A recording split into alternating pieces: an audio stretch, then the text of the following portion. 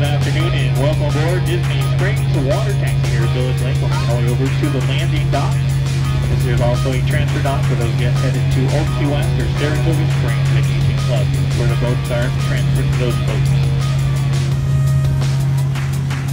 Also, it's the closest walking proximity to the world of Disney, along with T-Rex, the restaurant, and the Lego store. Here you'll find the boathouse, Jock Lindsey's Hangar Bar and Paradiso, or the waterfront a little further down, the new Iron Chef restaurant, Morning Hotels. Right across from Raglan Roads, and then Fulton's Crab House and Portobello's are also here at the landing. For your safety, please continue to remain seated, hands, arms, feet, and legs stay inside the boat as well. Give the all clear to go ashore once it's safe to so. Welcome to the landing. Our next stop final destination is the Marketplace. Over